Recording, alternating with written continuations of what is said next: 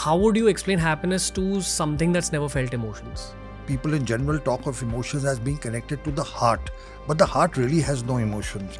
All the emotions are in the limbic system. When this area is triggered, now different things, different events, different circumstances, different people trigger your pleasure areas, and conversely, the opposite. So, one of the reasons is that our brain, because of what is happening in the subconscious mind, doesn't remain in the present moment. Or there are fears about what will happen in the future, which are also connected to what has happened in the past. The reason, too, is a constant gap between what you have and what you want. You want something and you don't have it, and so you're unhappy. Then, when you get it, you should be happy, right? I mean, so, and then I realized the goalposts keep shifting. One of the problems of humankind is that our brain doesn't let us be still in the moment.